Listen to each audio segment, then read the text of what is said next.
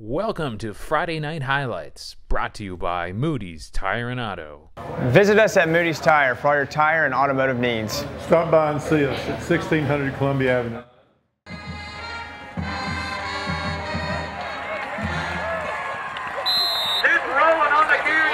The Roland brothers rushed for four touchdowns, and Ravenwood dismantled Overton 44 13 in week five. The Raptors' defense was big again. They have allowed just 41 points through five games this season. Williams broken up by Jeff Stewart. Plus, they have the offensive weapons. Cole Brown finds Van Jefferson for the game. Pass complete to Jefferson out near midfield.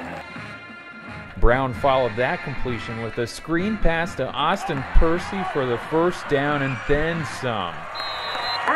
On the screen takes the ball across midfield down to the 31 yard line. That's enough for another Ravenwood.